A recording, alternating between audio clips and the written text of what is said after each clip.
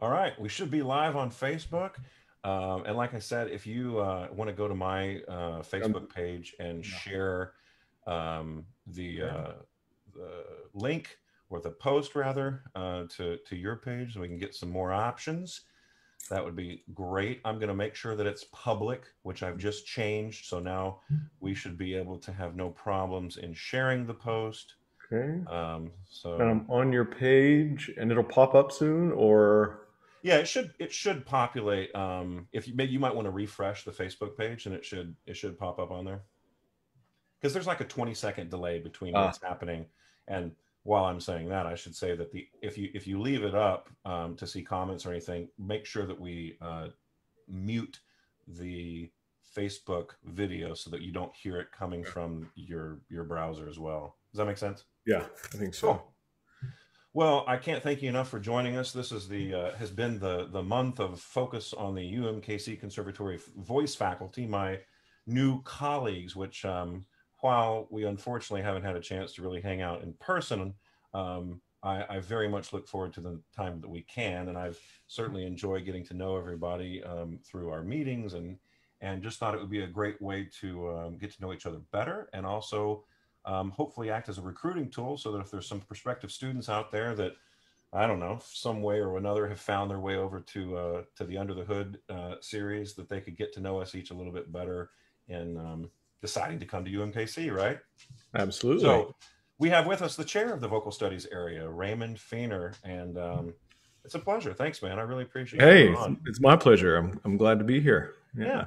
So, um, talk to me a little bit. Show share with us your story. How did you get involved initially into music and specifically into singing? Was this something that you came to later in life, or something earlier? How how did that all happen? Yeah, that's. Uh, I, I often get asked that question doing like master classes, and I'm sure you and many colleagues have to go through this timeline, which sometimes I have to think way back when. Uh, if you went all the the way, yeah, exactly. For me, you know, singing has been there since very young. My family, my dad, my mom sang in church choir and were musicians. My dad played guitar. My brothers played instruments, trumpet. So I was in high school just loving it all the way through. Choir, thought that's what I wanted to do. Actually, I remember the moment in, in high school. Uh, I come from a family of uh, hardworking, you know, blue collar workers in factories. And i thought well what do i do? Do i do i follow that? As a freshman in high school i was trying to decide where do i where's my trajectory? Yeah. and the one thing that popped in was you know i really love music. Been, been playing instruments my whole life singing playing trumpet.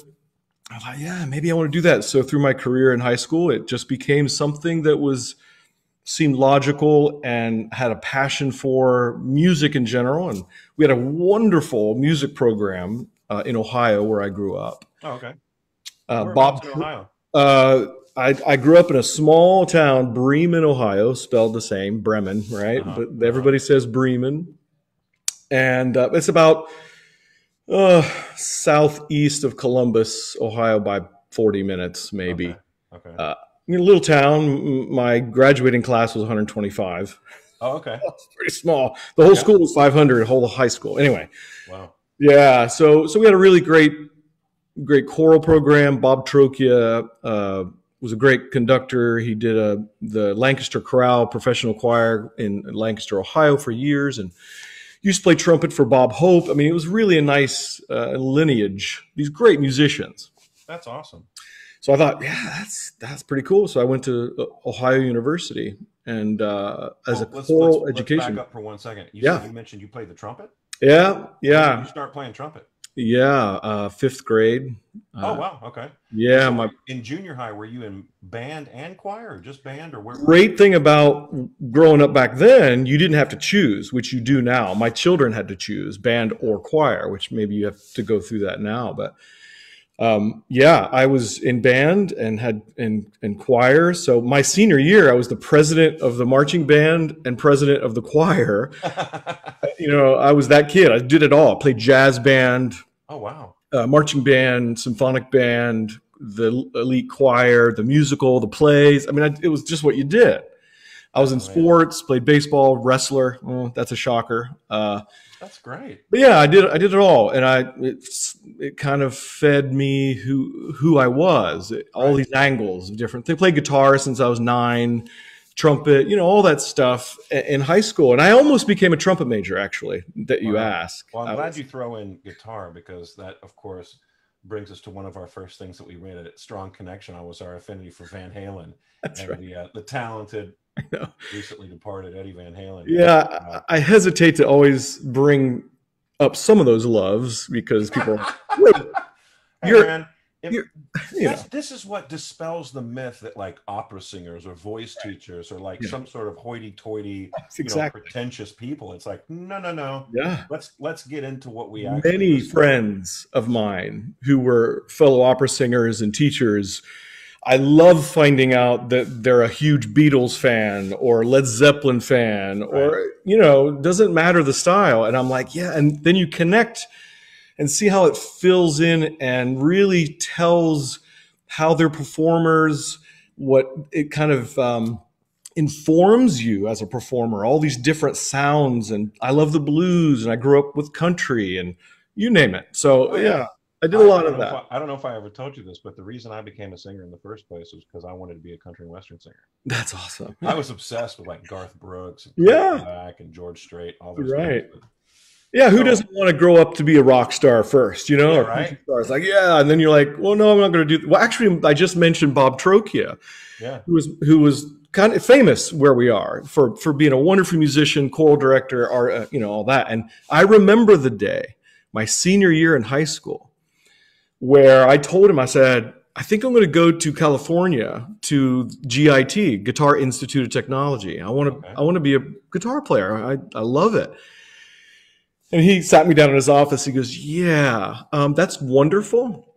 But, um, and I support that. But he said, he, he said, why don't you go to college for four, get a degree, get a solid four year degree, keep playing, keep taking lessons but then after you finish that degree and you still want to go do that, you go, right? Just get an education. That was his big thing. Right, I'm like, right. Well, you know, that's mature. that's, you know, if I go to California, who knows? I may, may not make it out alive. I, I back in the eighties, you know? Right. Right. So I, I went to college and so I went to OU, studied education, music education. This is Ohio University. Ohio University. It was 45 minutes south of where I grew up. Yeah. Um, really fine basic liberal arts school. You know, it's your typical college town. Beautiful, beautiful town. Oh, bricks, brick roads, gorgeous.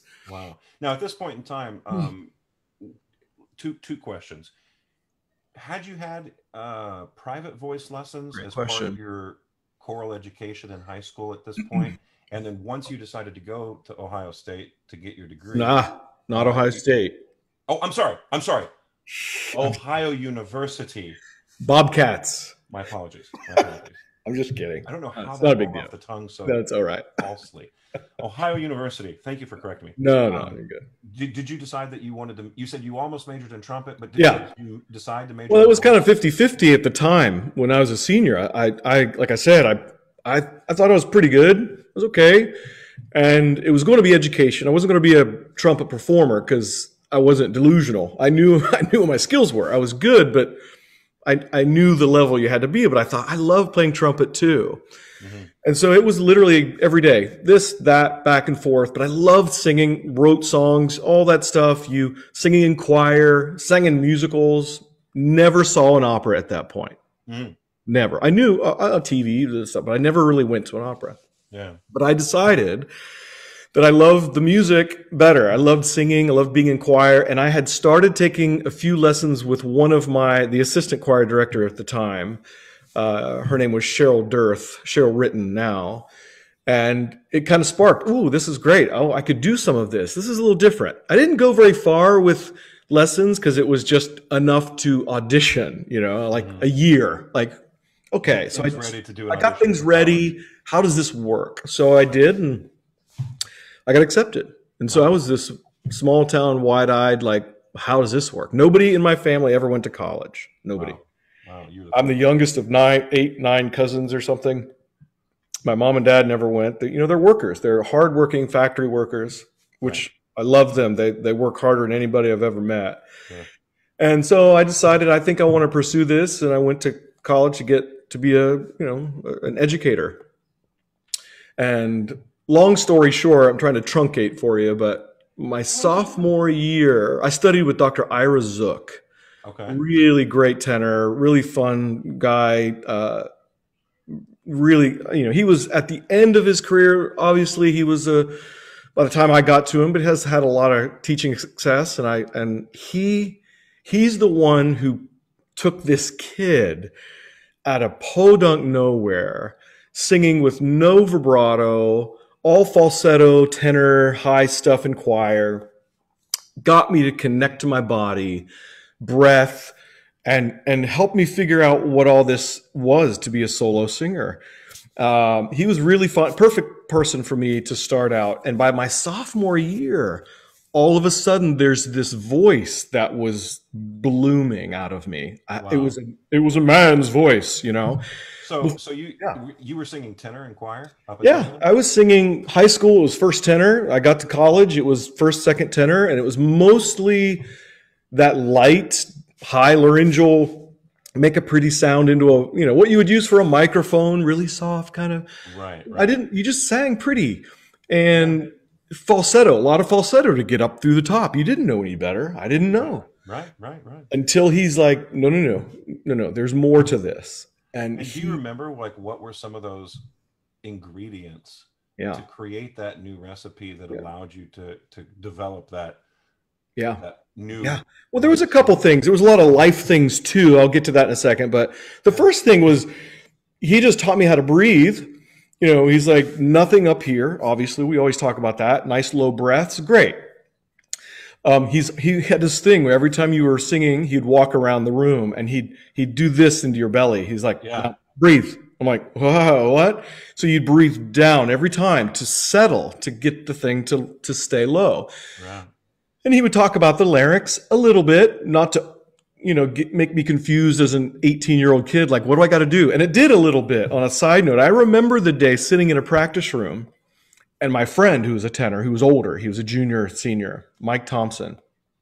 And I go, Mike, I goes, every time I do this and I push my larynx down, I was like, uh, like that. He goes, I go, it hurts. And he looks at me and goes, well, stop doing that. I go, yeah, but, doc, but Dr. Zook said it's got to be a low larynx. He's like, look, you, you're you're jamming it too far. You, what you think you're doing, it isn't what he wants. And that was the first year or semester. And so he helped me too. He's like, you got to have people like take the vocabulary and go, oh, he really means that. Okay. Right, right. And so with that, talking to my friends, talk, you know, experiencing it, it kind of so it was that breath was the biggest thing and and it was just over time lots of scales that it would just turn into he's like full singing and all of a sudden by the end of my sophomore year I, I, was shocked of what was coming out like that's not me like it was it was a, an amazing moment of of finding my body which connected to this vocal apparatus and they connected and then I then to see what I could do, which was art song and then arias. And the first aria he gave me was Deh Vieni alla finestra. And you know, it's a straightforward thing. You know, I was too young for the role, but it was a you're just going to touch on this to to kind of experience this new sound. Sure. And man, I sang that thing every day, every day, every day. I couldn't get enough of that feeling of I'm an opera singer, opera man, right? It was great. Now, how how was that transition in your mind from like thinking of yourself as a tenor, and he's like, no, no, no, no, you're a baritone. I mean, well, it wasn't that. It wasn't that I was thinking, well, I can't be a baritone, or I'm I used to be that. Uh-huh. It was really just I'm really now for the first time a singer. Uh huh. You know, before I sang. Right. Right. Yeah. Right. People play the piano, but are they a pianist? Right. Right. You know. I was I sang. Sure, I was pretty good at it. Had a good ear. Loved loved to do it. But at that moment, it wasn't like, oh, I'm one or the other. I just finally became. I put the coat on of I'm now a singer. I got the green coat, you know. Yeah, yeah, exactly. It felt like that, and uh, it just. And then my friend, my late friend Charlotte Stegman, mm. she was really tall, big soprano. Uh, oh my gosh, wonderful singer. She much older. She had children, and uh, but she had come back to school to kind of so she could teach. Right. Uh, we did Traviata, and she was uh, Violetta, and it was just a beautiful sound. Anyway, she goes, Ray, you need to join opera. And I, I, I at that point, I still didn't join opera because I was an education major, Mhm, you know. And I was like, really? I mean, oh, oh, I don't know, maybe. So then I sat in on spring quarter opera scenes. It they were doing the Anvil chorus, and it. I walk in there, I'm like this full room of of singers, and they were just one piece after another. They were doing. I'm like, it blew me away, Wow. and I was like, I want to do this. Yeah. And so, yeah. So then I was an education major. I took five years to do my undergrad because I started to do more singing. And so the first real show, obviously, was the opera scenes. But then I did, they did, uh, I did like the Armored Man, I think it was, or you know those duets in the Magic Flute. Magic Flute, in- yeah. Next year, junior. I'm like, and I remember standing on the stage going, "How did I get here?" Literally, I was like, How, "What am I doing? This is amazing. This is, this is real singing. You know, this is cool stuff." That's awesome. And the next year I did, um, I think it was uh, Baron Douphol, and then the next year was Marcello, which was so I go like your senior year, senior, super senior year, my fifth super year. senior, year, fifth year. Like boom, boom, boom. I would go from not really what is this thing to, you know, but you know, dun dun dun. It's like Yeah, it, you're it was it was quite the journey, and so I, I felt like I was a singer. I was doing really well, but I was still a, a teacher, and I had to decide what is that. What am I going to do with that life? This thing that I have and have been doing, and. Uh, in the summer after my, I graduated, I got a call from a from a public school, northern Monroeville, Ohio, up north near Toledo. And they said, "Come up for an interview. We got your information." I'm like, "Oh, okay, I'll be there." And so drove and got the job, K through 12 teaching. Wow. So that, well, okay. So I tried it, one year, one year. I hear you. And I was like, nope, I think I want to sing. So I went back to back, got my master's, uh, started to sing some more, and and started to cultivate back to Ohio University, Ohio University to study with Dr. Zook, which I did for one year. And by that point, I had studied with him for six years. Yeah. And I thought, no, I, I think I need a new perspective. Not that he couldn't teach me more, Oh, sure. but they just hired Marjorie Bennett Stevens, who's now at uh, Tennessee, just retired from Tennessee. Okay. Great teacher, just hired.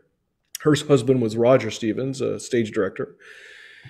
And I said, I think I just switched to her just to get different vocabulary, different ideas that I could add on. And the first time ever that I switched studios, which was very difficult to do uh, because I loved the man, Dr. Zook Sure. but yeah, it just continued to grow. Um, and then I was started to sing for um, Opera Columbus, uh, Columbus Light Opera, doing a lot of that, kind of getting my foot in the door, summer times and Yeah. springtime shows, um, Roram and uh, G&S and some of the lighter stuff because I was still fairly young at the time. I, in my mind, because I, I was a singer, but it was that am I an opera singer? It's like, how do I do that? And so Right. What's- during my master's, I was trying to figure that identity, you know. Right, right. Well, let's say this during your um, time with Dr. Zook and going into your master's, Yeah. um, once you learned to sing on the body and and you learned how to sort of really connect as a full bodied instrument, Yeah. um, what were some of the other technical challenges? Like, were you a, once you started singing, um, were you the type of singer that that always had sort of an easy top, or did that Mhm. take some time to to come in, or Great question. what what kind of Um, troubles or challenges were you? It was challenging. I think pretty standard. Once I found my body, I mean that unlocked a ton. I mean, Sure. it, he he was so good at you know really paying attention to the freedom of the tongue and the jaw, and always being aware of how much was too much and too little. And I played trumpet, which was a problem because I would I would take the abdominals and I would be it would be too tight. too tight. And also, the did you did you find trouble with the pressure in the breath? Yeah.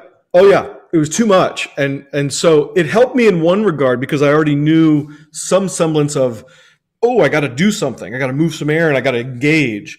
But there was a there was a month or two like, careful, you're going to do too much. So once we found that balance, I I could feel the strength in my sound. Um, but the top was okay. I, got, I could get up through, you know, not consistently, but I could negotiate the G's fairly well. But then I would lose it, and then I would gain it, and then I would lose it. And I'm like, what am I doing? And it took me a little bit of time. Like everybody, it's the passaggio. Sure, yeah. And you know, unlike everybody with a teacher, you either have somebody that can help Yeah. you navigate through that, or if you're Yeah. just kind of shooting in the dark. And so, Yeah. what were some of the things about your your navigation through the passaggio that really helped? Yeah, it's there's a couple things. The one thing for me uh, that that really caught me over the years and started with him was not to listen with my outside ear, because the more I started to listen to my chest voice, the middle, the fullness of the staff, Yeah. I wanted that same full sound on the top, and I would shout. It would just go open and open and open. And he would be like, "You can't listen with your outside ear. It's an internal sensation. It's internal ear." And and the vocabulary in my brain over the years turned to understanding that sometimes that sound that you hear is different than the outside sound. Somebody else is going to hear a clear sound when you're hearing a muffled sound or a smaller sound exactly. he would over the, even Marjorie Stevens would teach me that too, and eventually my teacher Jerry Pope. It's Oh, a yeah. gathering. It's a gathering of of the vowel. You know, keeping the tongue to the teeth and and feeling a a feeling of funneling of that vowel so it goes through the passaggio. If I opened it up, um, you, you're just shouting, and the larynx naturally wants to shout Right. the shouting range really is where the first passaggio starts. So any place where you you say "Hey Joe" across the street, when you start to call, that's where that first passaggio kind of starts. So you got to be aware of where you naturally want to yell, and you have to feel that it gathers, goes up and over still with your space, your connection, but it's a different sensation that's behind my eyes or my nose not through it, but there's a smaller sensation of gathering. That's the only way I know how to say it. No, I, I, I agree. And it comes with the vowel. That that and then when you're singing it, you're like, is that right? And they're like, it's amazing because when you listen to it, it's not quite what you think it should be. So that that was one of the biggest ways to get through that area. I love that you mentioned, or that, and he mentioned to you that um, you, know, you can't listen with your outside ears. Um, I, I was very fortunate with my lineage of teachers, and from the very get go, Yeah. my first teacher demanded that we recorded our lessons. This is back with cassette tapes, of course, but Right. we record. He had a he had a cassette tape recorder and a microphone set up in the studio. We were required to um, record our lessons and listen to them uh, and he would ask us stuff about like, okay, so from last lesson, talk to me about what you learned when you went back and listened to your lesson right. um, about this and that and the other. And so I've been so uh, fortunate to have that always sort of in my mind of like, yeah, I can't hear what I shouldn't listen to what it sounds like as I'm Right. doing it. No, And still today, you know, it's like totally. one of the benefits of sort of teaching um, virtually is that we have Zoom, and it's so great to be able to record the Yeah. lessons via Zoom, and so that the student Yeah. has this copy not only of the audio but the video too. Absolutely. So much of what we're doing, it's important to 100%. go back and watch and be like, Yeah. "Oh yeah, I didn't even realize I was tensing my jaw, or I was doing this weird Yeah. thing with my elbow or shoulder, or what you know." Totally. It's so great for the students to record their lessons on Zoom, and you know, to have that as like a an additional study guide when we're because you know they're only with us one hour a week, Yeah, which sort exactly. of a shame. So Yeah. I I I I, I really really um, appreciate that because and that's exactly what I tell my students. I'm Yeah. like, don't listen to yourself. Never. What does it feel like? What does it feel like? And th- and people say that all the time. You read it in some textbooks. It's and you know that's a logical aspect of teaching and singing and performing that everybody says don't don't listen and feel. Feeling is the and you're like yeah I got it. But until you really experience it, that sensation, and you think there is no way that's right, but your teacher goes. Uh, what was that? Because that's gorgeous. You're like, no Right. way, that's right. How many tenors have I taught who think their B flat is terrible because they hear uh, the background noise. The Right. now, like we don't hear that. You have to trust this other. Either it's, it's muted, it's like, or it's Right. breathy. The high C has a lot of background noise in it, right? Yeah. And I say, just just go for it. Trust it. As long as it's supported. They don't you don't get it until you listen, like you said. Yeah. A video, a recording, or you trust the teacher. It's like that. I said, you have to trust the wrongness of it, the Yeah. feeling that it might feel wrong when it's actually right. Everything in singing is like an opposite, right? There's two parts of that. It's it is right, but you think it's wrong in many situations. That's why it's so hard. Yeah, yeah, and I mean, you know, we could probably bring in the word chiaroscuro at this Yeah. point, right? There's this balance of opposites, like Absolutely. you say. There's Always. the light and the dark that we're always trying to keep in check with one another. Yes, and sometimes that can be literally the the ping and the warmth, or Yeah. like what you're talking about, it can be the the the right and the wrong. Not necessarily wrong though. Right. What what what came to my mind was that if you're not used to singing as an opera singer, which initially who is, Right. You start to make these sounds that you're like, well, that couldn't possibly be That- it, right? Weird. And what yeah. are these sounds that we're trying to achieve? They're operatic sounds. yeah. And the other day I was talking to a student and I and I mentioned, what if we used the adjective operatic when we were talking about um, a, a, a building that caught on fire? Dude, did you, did you see the building downtown catch on fire? It was operatic. That would make the, the person on the other what? What, what? happened? Oh my god! You know, it's it's like, is there an is there a word that is more Right. exaggerated than operatic? Right. And when you take that into context and you're thinking of like creating operatic resonance or Yeah. refining a vowel to include operatic stretch or whatever it might be that we're talking about, Yeah. when somebody's not used to making those noises, you know, it's mm, like, No. wait, could that possibly be it? It's like, yeah, Yeah, yeah. I mean, there are times when when w- this happened years ago when I was teaching as a grad student. Uh, even with they were non-music majors, and the first thing I would say to them is, "I just pretend you're an opera singer." They came from all different majors. It was a non-music major class. And I said, we're just going to have fun. We learned a piece or part of it, you know, and I said, okay, just what would it even imagine that would sound like? And therefore, what it would feel like in your body. Probably 90% of the time, what happens? They get up there and they sing like this, and I'm going to sing. And I'm like, yes, you're halfway there. They're like, really? I was just pretending. Yeah exactly. there's a little bit of a component of putting that coat on that opera like like you like I said to you earlier it's like I felt like I was a singer I was becoming this identity what was that like well you do have to have a little bit of a creative aspect of pretending now I'm going to be an opera singer and you and you the body kind of responds a little bit if you've had any sense of what that sound could be like if you've heard an opera in your life or Right. saw it on TV and they're going to make fun of it. They're going, oh, they, they sound like this. Yeah, you just made all the space you need compared to your speaky voice, Right. right? And they they go, oh, that's that's not what I expected. And then you try to get them down the road to stay that way and to sustain the sound. It's one thing to say it. It's one thing to get there and to, through the first try or two, but it's sustaining that feeling Right.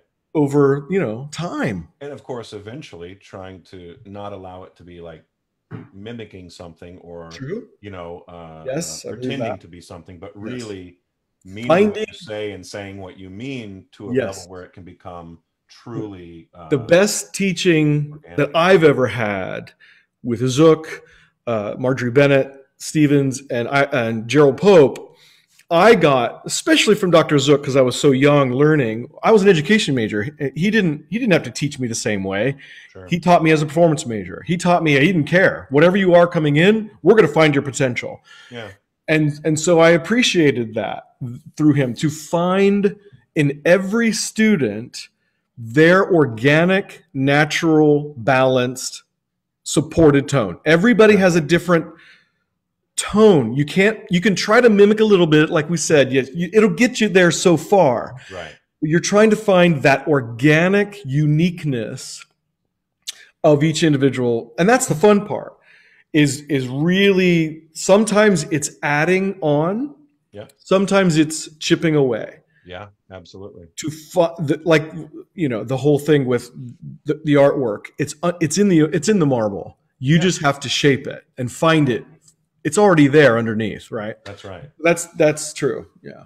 Talk a little bit about your experiences um, as a singer with, you know, I mean, I'm, I assume that you were still participating in choral ensembles while you were still learning to yeah. find that full yeah. engaged body voice. Totally. How did you balance that going back and forth between because and and talk about I mean, do you think that there you know are differences between choral singing and solo singing and and yes. how do we how do we sort of find that balance? Yeah, great question.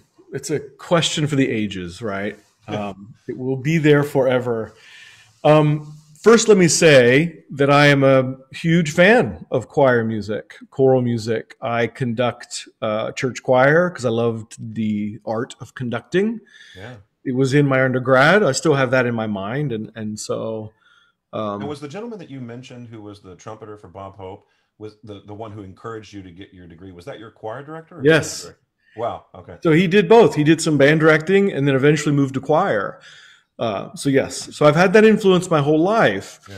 And so, you know, anything I always tell people when I'm talking about the differences between operatic singing or solo singing to the choral field or even musical theater or any other style, country music, whatever. Sure. You know, everything has its own requirements. That's it. So choral music has its requirements. Musical theater has its vocal stage requirements, opera, and therefore. So we're using technique that's definitely related, right? We're using the same instrument. Sure. But I have to make some adjustments in order to uh, fulfill the requirements in those different categories right? Just like a trumpet player, Marsalis used to take six months to prepare for some jazz concerts, and then he takes six months to prepare for his classical concerts, right? So a lot of professional instrumental musicians feel the same way. They have to take time to do. They separate them a little bit. Mm-hmm. Uh, in in vocal music, let's start back at the beginning. Yeah, there was a day. I still remember it. At the moment where I just told you that my teacher got me to sing. The sophomore yeah. year, I was in my university singers ensemble, SATB, mm-hmm. and I start and I, he moved me to bass, uh, baritone, and I said I got some things going on. He was very wonderful to, to move me around, which which is nice, yeah, right? That's really great. That's you know, that could have been I mean, can you imagine? Nope. Yeah. I don't care no, no, what you're doing in your private lessons. You're going to stay on ten or you, need, you can sing falsetto. You need to stay up there and just. yeah, he didn't do that. And I actually remember the moment after rehearsal, and I said, uh, his name was uh, Dr. Jargisian, and I said, "There's a couple ways I could sing, and I need you to hear them both. I'm, I've discovered something." And right there, rehearsal was over. He goes, "Well, sing this line for me," and I said, "I could sing it like this," which was the lighter, you know, off the voice. And right, then I said, I could breath, sing yeah. it like this. And it was an E, E flat. And so before I used to, it was very light. You would just go up and the larynx would go up. Mm, yeah. now I went up like this. And he was like, like that. I'm like, great. Is that okay? I mean, it's going to be bigger. He goes, don't, yeah. you don't worry about that. Let me worry about that. I'm like, great. So I started to explore how to use that voice within the choral ensemble. There were moments where I couldn't sing full out fortissimo, blastissimo is what I call it. In blastissimo, that's yeah. great. I couldn't do that, but uh, you know, we, he, my teacher, choral director, we were all communicating to figure out how to be healthy with it. Right. So there is a difference. Uh, as long as you're aware of it, your teachers are aware of where you are to help you through that. I think there are often there are often singers and maybe teachers, uh, hopefully not. Um, how do I say this? Uh, they don't know the difference. You know, they, they are in a choir and they're singing pretty, and they don't know that maybe the voice they're using isn't either to their full potential, maybe, or they're not fully connected right. to the sound where it would actually be healthier for them for the tessitura because that's what I found the fir- at first was the tessitura became much easier and I was less tired at the end of a choral rehearsal when I was fully supporting. And so once I found that full thing, I could actually pull forward and back on the dynamic throughout the range. And and but there's a lot of singers especially the young ones, they don't know. I didn't know. You just of you just go up and down the scale and the larynx goes up and down and Sure. And then you go into the studio and they're like, "What have you been doing?" What do you mean? so well, they, I mean, and part of that issue can be that you know usually they're doing choir five days a week and they're yeah. doing voice lessons one day yeah. a week. Yeah. And you know, if they're there, especially if you're a performance major and your goal yeah. is to sort of be on a stage of some kind Right. and perform. It's Yeah. it can be sort of Tricky. you know a, a, a challenging uh, juxtaposition, but that's why I mean I'll throw in a little bit of UMKC here. I love that our director of choral activities, Shanae Robinson, she comes from a background of um, yes, exactly, uh, comes from a background of being a singer herself, and so Yeah, I love that she supports all of our students singing with their real voice, right? And um, that that means so much because the worst thing, well, perhaps the worst thing you could do is miscategorize someone. You know, someone who's like a dramatic soprano, have them singing on soprano Right. right? That Right. you're just going to destroy that voice. Totally. Um, but yeah, I think it's it's so. The other thing is, is that of course, choral conducting students are taking lessons, voice lessons, Yes. right? Which is so important Yes. because how are you going to be in front of a group of singers and not really thoroughly understand Right. how to sing you know i think that that, that can pose problems like you're saying When they're asking for different colors, different dynamics, different tones from the choir based on whatever rep they're choosing to do, the big stuff, the straight tone stuff. Uh, I say straight tone, but you know, it's the lighter stuff. And oh, yeah. when you're asking for that, you need to have singers who understand their voice, understand the versatility that's needed that to do all of that. That's why professional singers, yeah, they often join a professional choir because they're they know how to use their voice in different ways. A freshman, sophomore, junior, it takes a while. yeah Um, so you got to know as a conductor how how the voice works. Um, I actually love teaching choral directors, the graduate students, um, just showing them how I'm teaching, and my students are learning from me and what's possible, and and I, I just they're soaking up all this information. It's quite enjoyable for me to teach them. i agree i agree uh, we've got we got a couple of comments dan daniel gertis down at florida you know in florida Yeah, he yeah. says uh, hello to both of you hope you guys are great ask him about barber at fsu Absolutely. so is this where by the way we hadn't quite gotten to where you received your doctorate did you go All to right. florida state to do your doctorate? I did go to Florida State. Uh, I went to Florida State uh, primarily for my teacher, Jerry Pope. Uh, God rest his soul. Uh, he he taught me how to be not only a better singer, continuing on my journey, but how to be an artist. He really, they all did, but he took it to a level of not putting up with anything less than the the, the top 150 percent of being an artist yeah uh, you know, obviously dramatically, uh, dynamics, uh, the text. It was all about this, the text, and committing to that for your audience. I mean, beyond anything I'd ever even considered. Um, he really, man, it just topped it off for me. So that was wonderful to have him uh, later on in my life there, in, in my late Yeah. twenties, actually. yeah Um, but yeah, I did a lot of roles there. Um, what a great program in the late 90s there. Um, Michael McConnell was our stage director, and I studied with Jerry and Doug Fisher, great vocal coach. Uh, Hoekman was the other vocal coach there. Uh, great faculty. right Uh, so yeah, I did, uh, the second show I did there was Barber of Seville, uh, and it was uh, my first Figaro. It was so challenging, uh, obviously. Uh, and I remember the first rehearsal staging the largo. You know, was trying to. He goes, "Okay, now try this." And and McConnell was very, very big on spontaneous, you know, creativity. He'd be like, "Okay, run across here and jump over here and do this." I'm like, "Great!" And I'd go through it and be like, "No, no, no, no! I want you to go back and then try this." I'm like, "Okay, no, no, no, no, no." Well, What if it worked? I'm like, "Oh my god!" So that's when I started to think, "I gotta mark this. I've got to," you know, I was try. I was so eager to please. yeah yeah Um, but I figured that out, and um, I had such Lynn Eustis uh, was was in my cast. Rosina, she's up at Boston now, and she was so great to work with, and and Clayton Jolly, tenor that I sang with. I mean, anyway, it was, it was such a great, great show, and I learned a lot.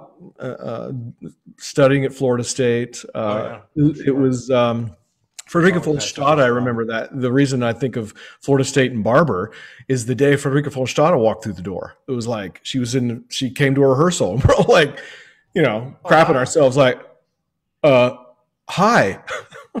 so gracious, such a wonderful person. She's the sweetest soul. I, I, that's what I remember. I remember being there, like, "You're kidding me, right?" What? Did, she's she was sitting there, so we all gathered around and asked her questions. She she was great. That's amazing. We also have Jared Johnson saying, making reference to Blastissimo. Blastissimo. He remembers that. And he says this exchange is gold, solid gold.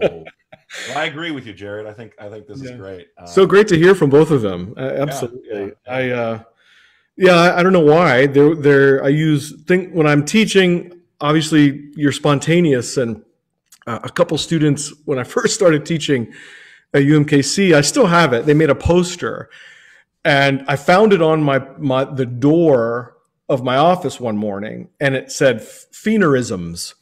And my students had made a poster with all the things that I would just come up with, like Blastissimo or right. The famous one is this this wonderful girl. She I said, I was so pleased with the sound she was making. I go, I can't believe that sound just came out of your face.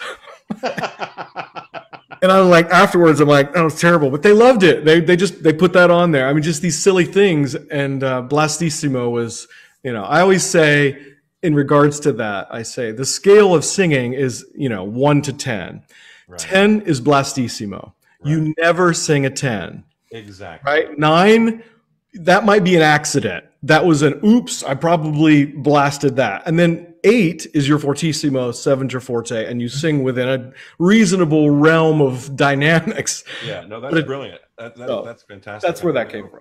Uh, Robert Merrill in his book, you know, he used to talk about, you know, never, never sing into the red. You never sing past like right the red because you know the conductor will inevitably say can, can you give me just 10% more here 5% more here yeah. and if you're like full on tilt you know it's like what's the answer? No. No. I'm bleeding from my larynx at this point. yeah. Didn't you catch my larynx uh, on the last go through? Can I have it back? Because wow, I can't give yeah. you any more. Yeah, you always want to stay within the green, the green and the yeah. yellow, maybe never into the red. You know. Absolutely. Uh, yeah. so you did your doctorate at yes. uh, Florida State, and was that because um, you had uh, decided to pursue teaching at a university, or was that you you, you were? It was great question.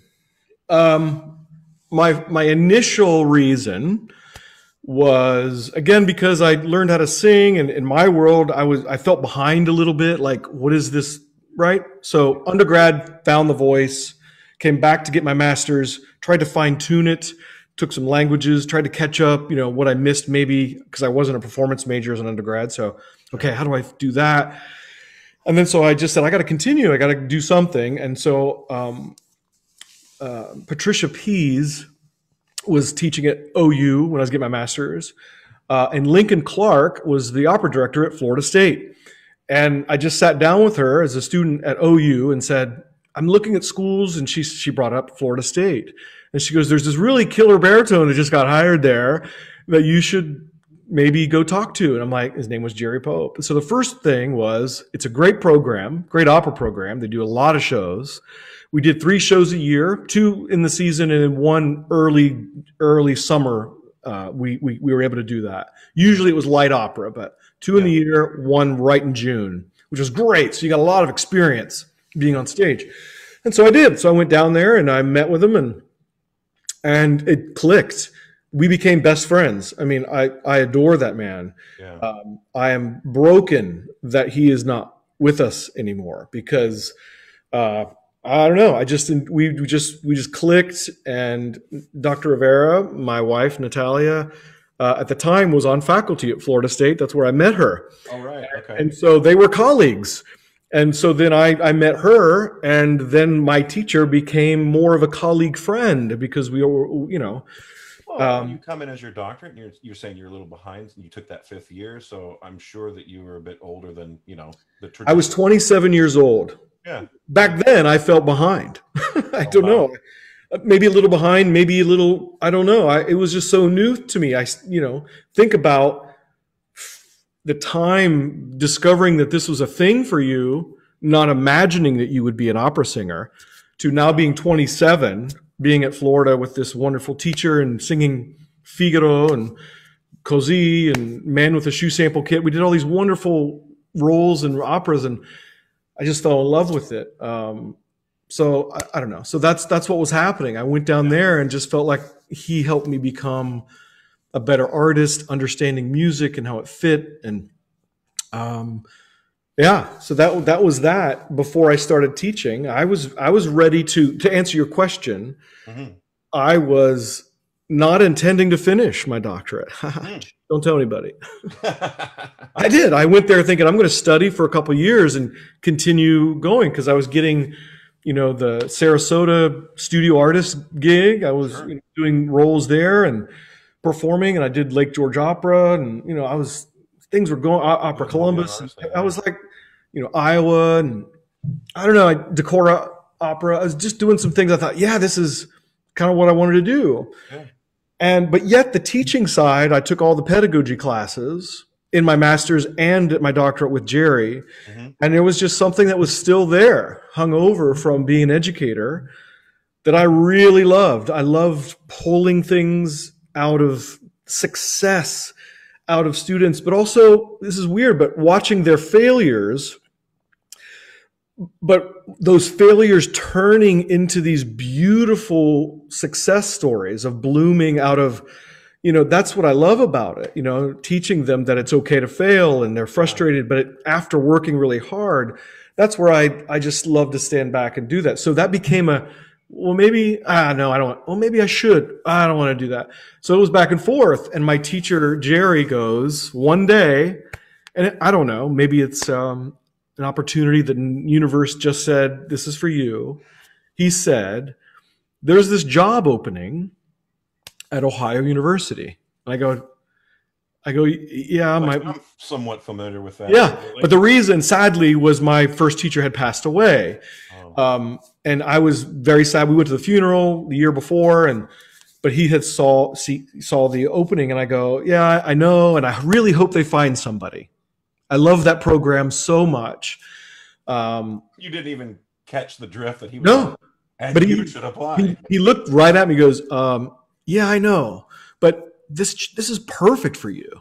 I'm like, what? No, man, no. I, am not sure I want to do that. I want to keep going. He's like, well, you can still sing, sure. but you've you know you seem to love teaching. And I'm like, he goes, look, if it doesn't, if you don't like it, just stop go keep singing. You're, you're, you, you can do that. I'm like, well, I guess that's weird to just to start a job and say, ah, it's not for me. I guess people do that. But I said, fine.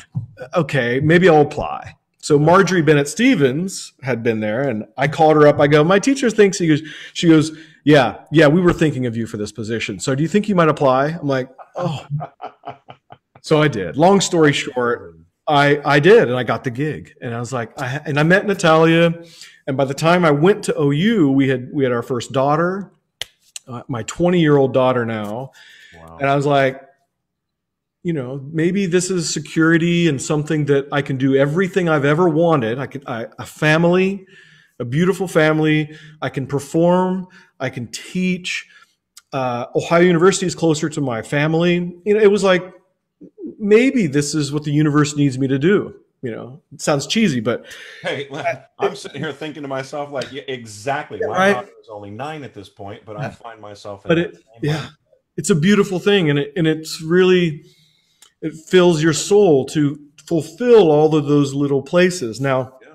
the singing part, you know, I don't do as much. I, I dedicated a lot of time to teaching and becoming a better teacher because even though I got the gig, I was nervous. I was like, I've got to hunker down here. I think I know some stuff, but the, well, the proof is in the pudding. how much Jerry Pope helped you uh, to understand the art artistry yeah. side of singing. Yeah, you're singing, and you can you can technically sing fantastic yeah. and be boring as a you know stack of bricks on stage, but like having that additional artistry with yeah. the interpretation of the text and the purposeful mindfulness, right, of how you go about, you know, even preparing a role or preparing a song cycle or whatever it is. Absolutely. I find there to be so much similarity in teaching. It's like you can teach technically and you can right. be technically sound in the information that you're giving. Right. And I'll fully admit, you know, moment of vulnerability here. That's a thing that I know that I need to grow in is to is to find the artistry in teaching and to be able to like you say you know turn those students hmm. failures into amazing opportunities to bloom success yeah. maybe in a different direction right absolutely. Um, but yeah that's that's that's amazing that you that you found that such early on yeah. and were able to explore and i didn't expect it you know it was i never as in most things in my life i i never saw that mm-hmm. ending result. Did mm-hmm. i think that i was going to ever go to college ever? No because my, nobody in my family ever did. That was new. Did i ever think that i would go get a master's degree at that? Oh Okay, I did that. Opera, okay, that was new. You know what I mean? And so being an opera singer, and then all of a sudden teaching at a, at a co- at college, it was always life was always surprising me with these beautiful moments. Now, I don't believe in luck. I think luck is you being prepared for those moments that come up, Absolutely. right? It's serendipitous, but but you boom, I'm prepared for that. I'll take a chance on that, and that's luck, maybe. But but life just was like this is something for you. This is something for you. Yeah. From teaching, singing, meeting my wife, having a family, all these things, and, and things that I never, I never wanted a family. I never thought I'd get married. All of those, wow. everything, everything. I, I was like, I never saw it. I would always be working and doing and working for something at being better. I mean, I knew I wanted to sing you know, eventually. But at first, I didn't think I'd ever be. What was that? Right. You know, opera? Cool. Right. How do I do that? I'm not an opera singer. But once I did, I thought, yes. So, but the teaching thing wasn't really on my radar until it happened. So, right. Until it was. Till there it is. Like, okay, I, am going to make the best of this. Um, and I actually, I got a chance to conduct too. I, I conducted the men's chorus there, which I had a lot to do with when I was a, a student, but I got to conduct. And so I got to be a singer, an opera singer, be a teacher, and I got to still do conducting of the men's music, which I love with passion. The Singing Men of Ohio, a shout out to all the brothers there. Wow. Men's chorus that we grew. Um, amazing. So anyway, I'm blessed. I'm I'm happy it's, with all It's unbelievable that. to see. I mean, you know, I don't know if we want to to bore the the folks listening with with with this little nugget of mine that just popped in my head, but I played trumpet when I was in junior high. Um, and then I got into choir and I had no idea how to sing. And then I, you know, we, we have so many similarities. So you talk about men's choir. When I was an undergrad, um, I, I split my time at two different schools. I was at Southwestern University for a couple of years. And then my teacher, Gerald Dolter, resigned and took a position at Texas Tech University, where he still is. Mm-hmm. And I transferred to Texas Tech to continue studying with him there. Mm-hmm. And when I got there, one of the first things we did as a scholarship concert to raise money for all the vocal scholarships, we did Carmina Burana.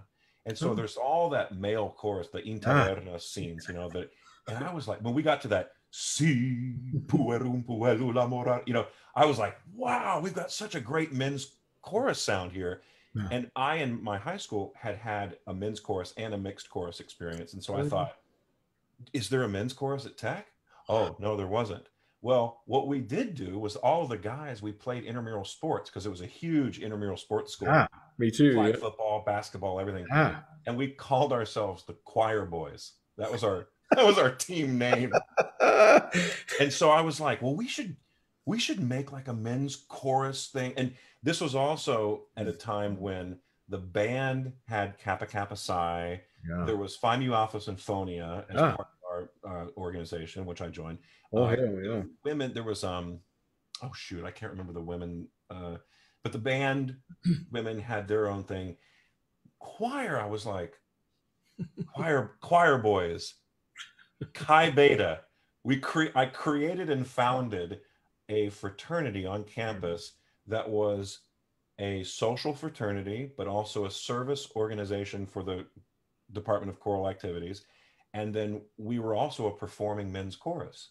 And so we had this opportunity to gather and and and perform but also we'd set up for concerts with the risers and we'd tear down things afterwards.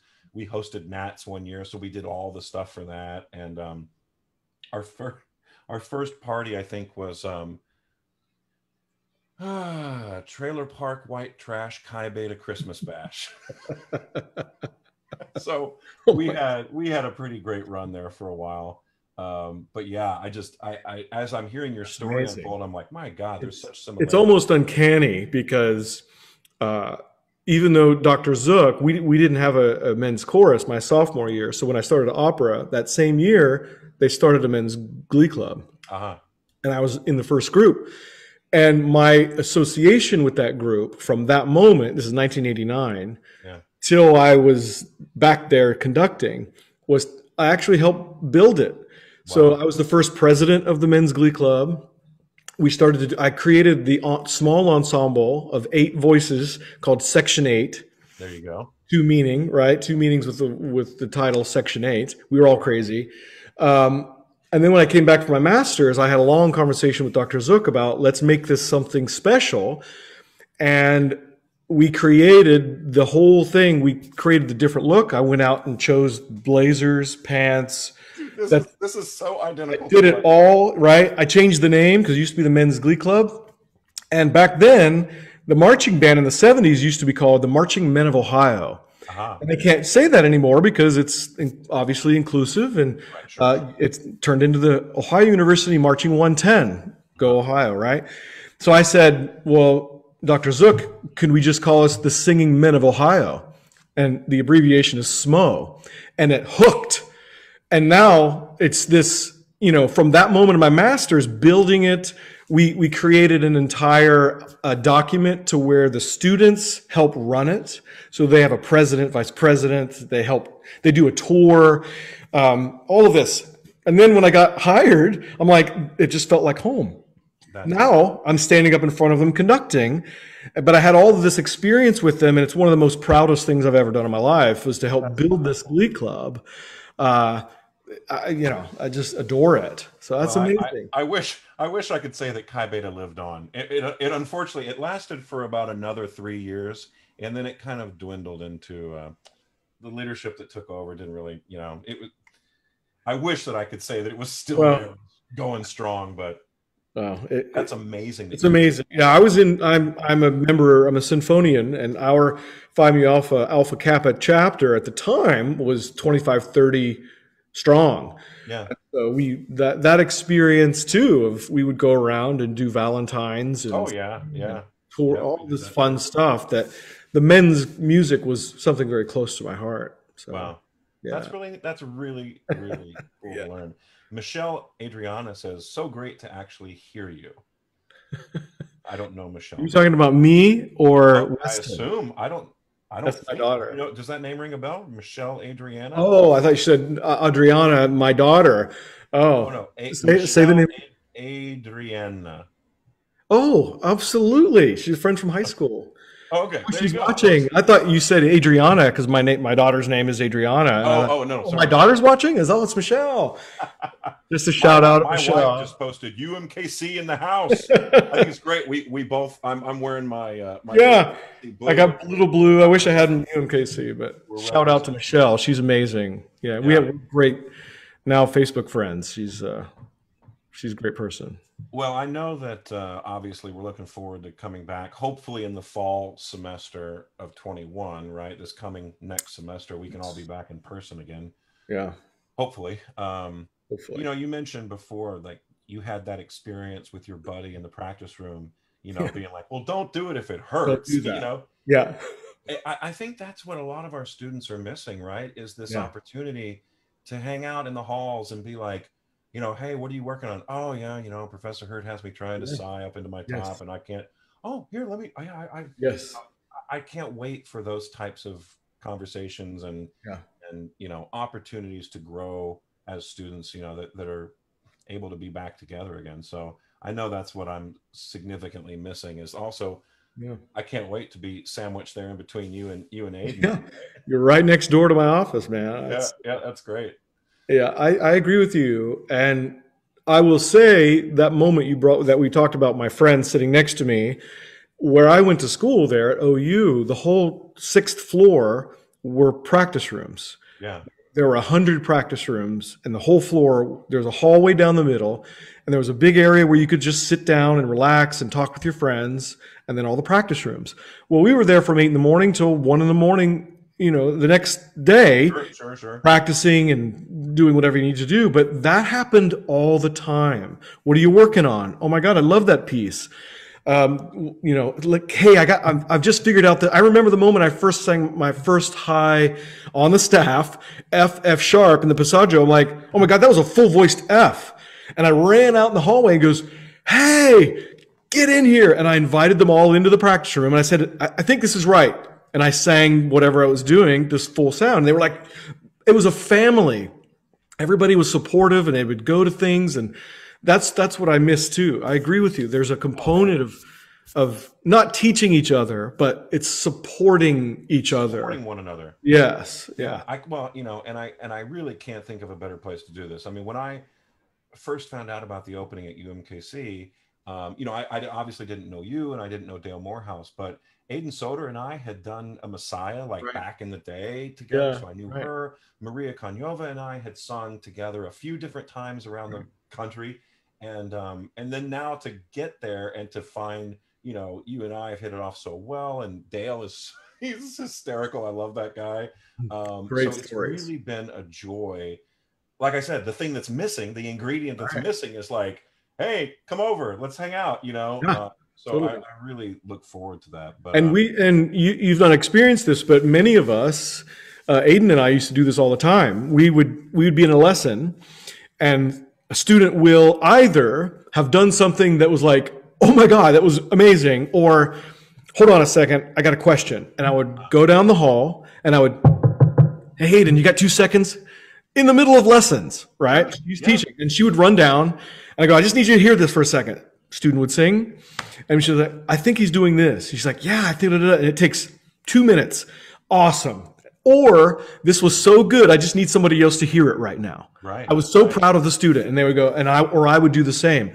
So there's, there was a, there's a really great, you know, feeling of that family and helping each other.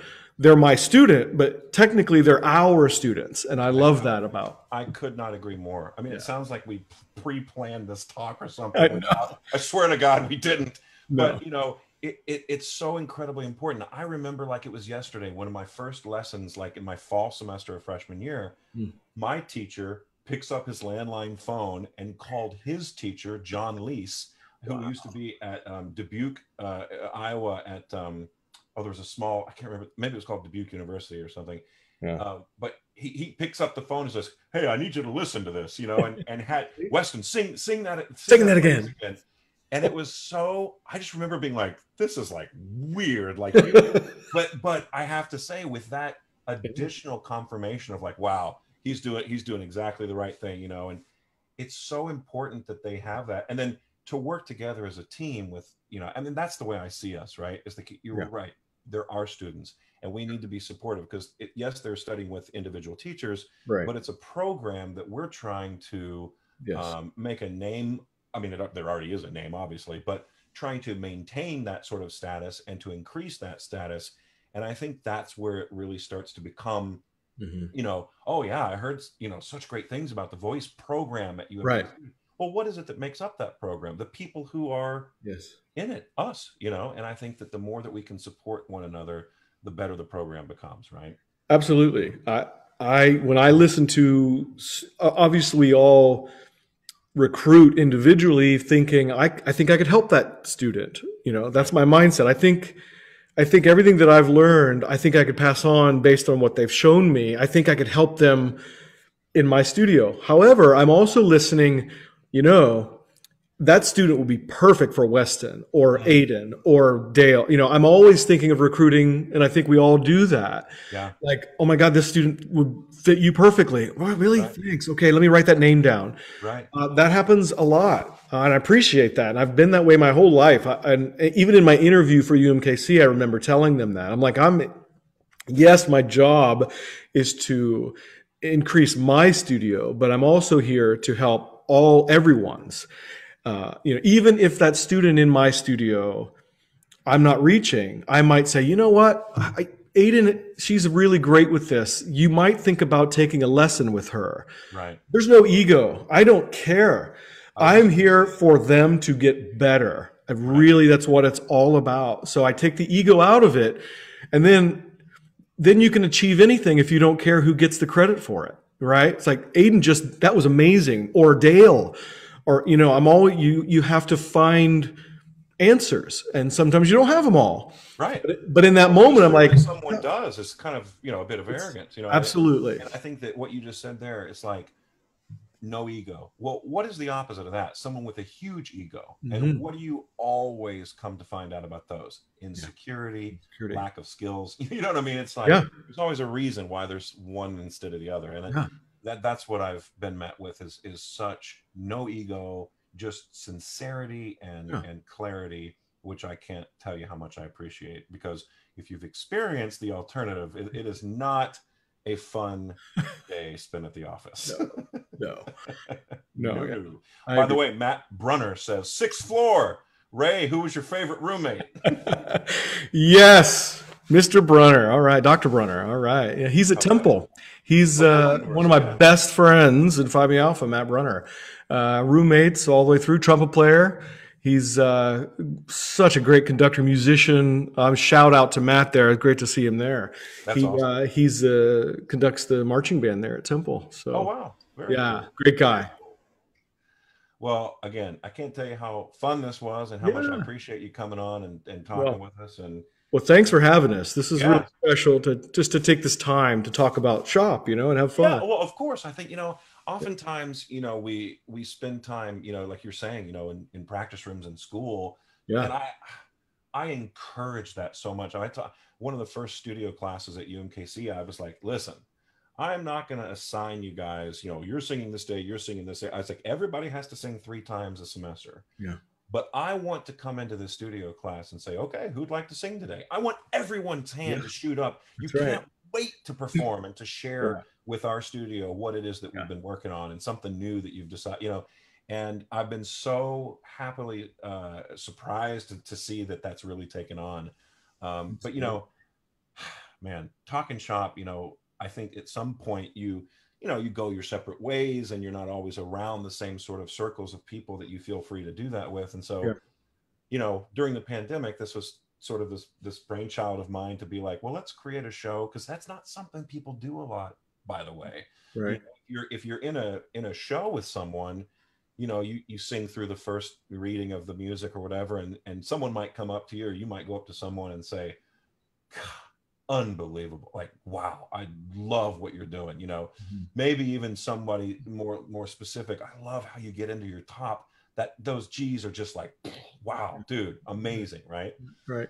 But rarely do you do you go up to hey could we can i buy you coffee and talk to you about how you approach the uh, you know because it's like everyone is there's sort of a yeah. I don't know if i want to talk about that. Yeah. so I, I thought it would actually be a really cool arena for people to sort of set aside that you know sort of well i'm i'm in a rehearsal right now and i've got to try to sing my best and right. instead you know sort of open up about um, these things that we don't often oftentimes get to talk about and sometimes requires a bit of vulnerability, right?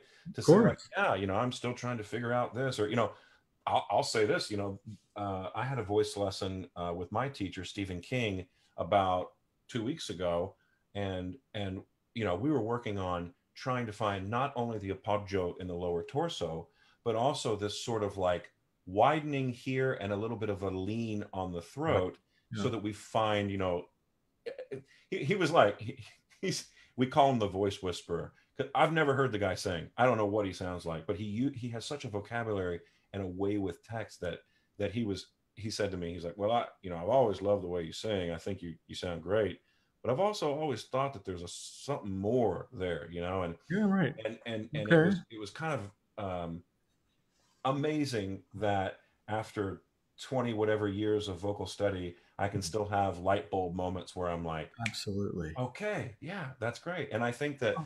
you know, with an approach for us always to be willing to learn, to learn yes. from each other, to learn to become Constant. better teachers, to become better singers. Yes. You know, that's what we're, that's what I'm. Never stop learning. If you just spend the rest of your life, You know, the the cure for boredom is curiosity. So continuously look for ways to improve. And I mean, just try to be a better golfer. See how difficult that is. You will spend the next 50 years chipping away at that. And I feel singing is the same way that you're constantly trying to be more efficient with the machine, you know, and if you're constantly taking in information, some you'll keep, some you won't, some will fit you, some won't. But if you're, if you're in that mindset, from now until eternity, you can't go wrong with that. There's, there's, you're going to help yourself. You're going to help others. Uh, it's a win-win for people to be in that that type Dude, of. You're my brother from another mother. I, last night, I made a reference in a in a lesson that I was teaching to a golf swing. I was saying, you know, if you go up and you see somebody step up to a golf ball, and they drive that ball 350 yards down the fairway, right, with a very fluid, quick swing, right and you've never hit a golf ball before, and you step up, you're like, all right, let me do that. Let me do let that. Me do that. What are you gonna do? You're gonna yeah. I'm gonna knock the shit out of this ball. you know, it's like it'll go about two feet, right? You know, the best the best quote I use all the time. This is amazing that you said that about golf. The, the best quote I ever read was you this is a golf quote. You want effort, you want effortless power, not powerless effort. That's golf, that is singing, that is that is everything down to being as efficient as you can to get the the best result in the end. And I should have it tattooed on my body or painted on my studio wall because I use it all the time.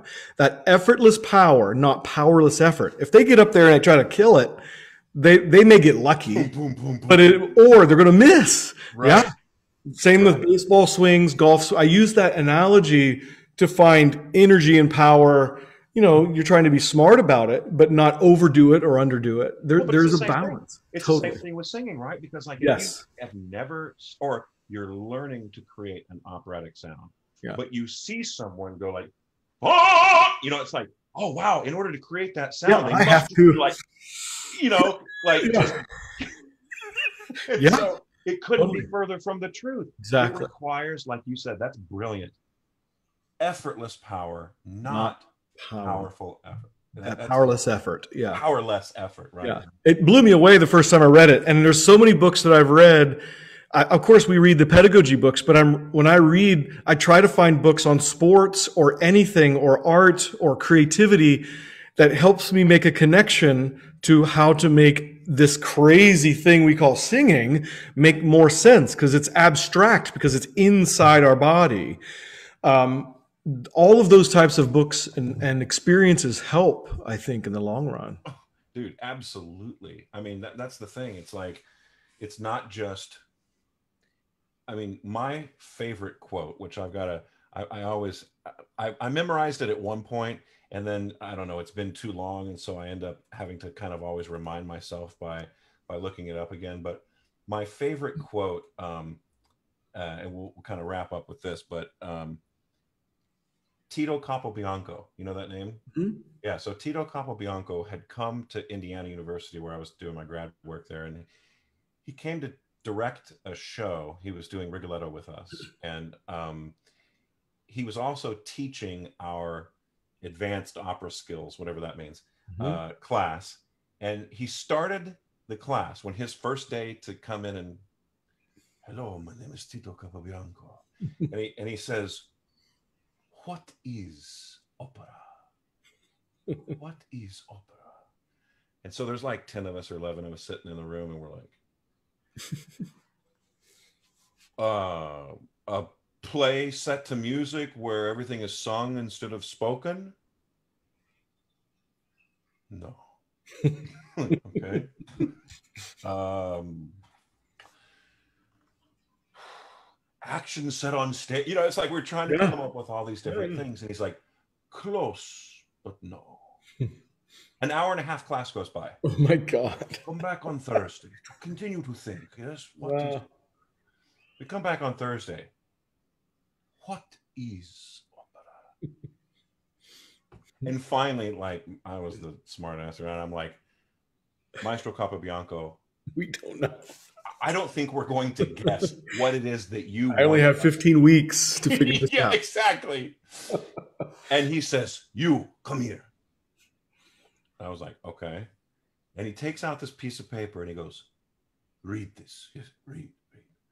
So he says, opera is a hurricane of passions, of which the singing human voice is the epicenter, dragging fiercely all of the arts with it in a sublime and romantic psychosis of insatiable sensuality. Wow.